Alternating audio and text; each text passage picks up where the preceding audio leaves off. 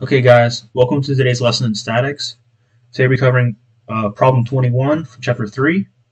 So number 21 says, a 200 pound force is applied as shown to the bracket ABC. Determine the moment of the force about A.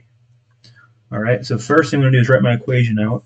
I know the moment about A is equal to the position vector from A to where the force is being applied at point C crossed with the force at point C. Okay, so we need to find a few things first. We need to figure out what this position vector is from A to C. Then we need to break down force C into its components on the axis. Okay.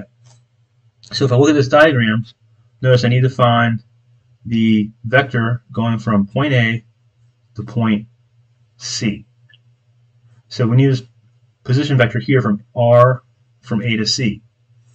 Okay, so noticing this, it's first of all, there is no Z component of this position vector. It's all acting on, on the XY plane.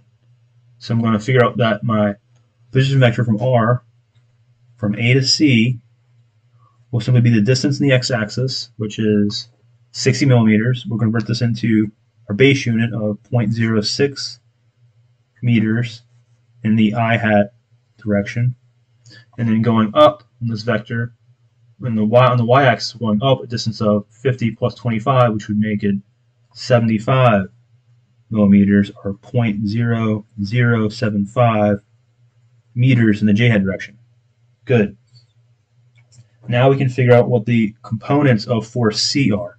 So force C if I were to analyze this, has a, looking at it, appears to have a y component going down, and it looks like this is a z component coming out of the page where this cosine of 60 degrees will be. Okay, good. So force C in the y direction is going to be equal to negative, that thing down, 200 newtons is the magnitude, multiplied by the cosine of the angle between this force and this axis, which is 30 degrees. Okay? Now force C in the z direction right here would similarly be 200 newtons times the cosine of its angle between its axis, which is 60 degrees. Okay? And this is a positive force in the z direction because it's coming out of the page. It's acting in a direction that's in the positive, along to the positive z-axis coming out of the page. Good to know. Okay, so I have a position vector here, have my forces, my force broken down into components here. We can now simply take this moment equation and convert it into our matrix, and then take the determinant and discover what moment about point A actually is. Okay. So this would be simply broken down into components. It would have an i hat component. It would be 0.06 in the i hat, and then negative 200 cosine of 30. So negative 200. Go to my calculator app. We have negative 200 cosine of 30, which is negative 173. Oops.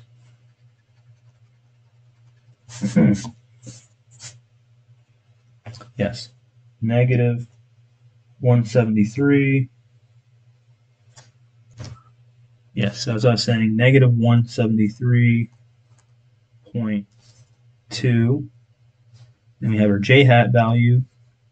The position vector is 0.0.075.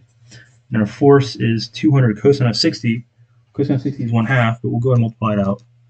200 times cosine of 60 would be just simply half of that 100 newtons.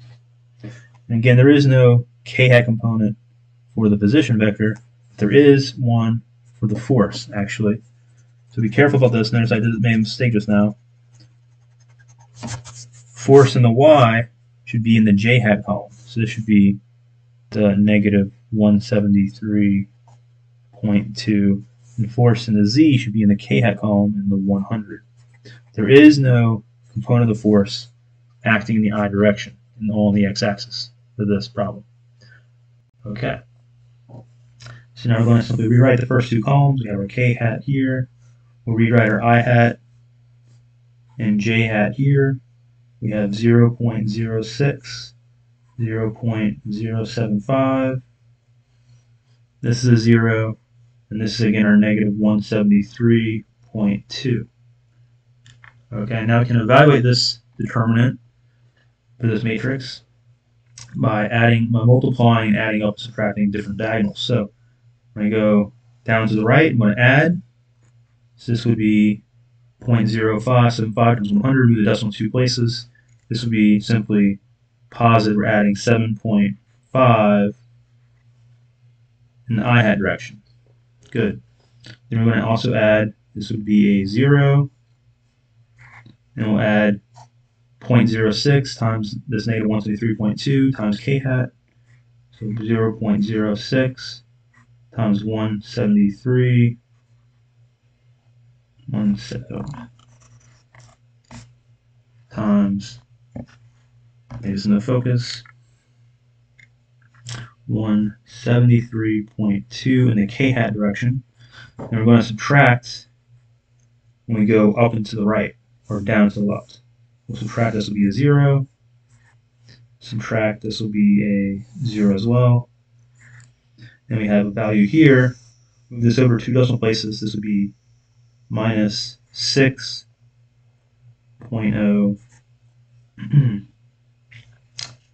6.0 in the j hat direction. Good to know. So our moment about point A has Okay, and so to evaluate the determinant, we multiply and go down to the right and add, and then we go up into the right and we subtract the products. So going down to the right in the first column, we have i hat times 0.075 times 100. So move the decimal place over two places, we get positive 7.5 i hat. Next diagonal we have 0. Next value we have 0.06 times negative 173.2 in the k hat direction, illustrated here. Next, going up and to the right, we subtract, we have 0, so minus a 0. We have another 0 in this product, so we have 0. And we have 100 times 0.06, which would just become 6. And so we're subtracting, so it's negative 6 in the j hat direction. Multiplying these two values out, we have our final answer. The moment about point A is equal to positive 7.5 newton meters in the i-hat direction, negative 6 newton meters in the j-hat direction, and negative 10.39 newton meters in the k-hat direction. All right, guys. Thanks for joining me in another Simple STEM Solution video. Be sure to like and subscribe. Also, if you'd like to support this channel or have particular questions you want answered, be sure to check out my Patreon community via the link in the description below.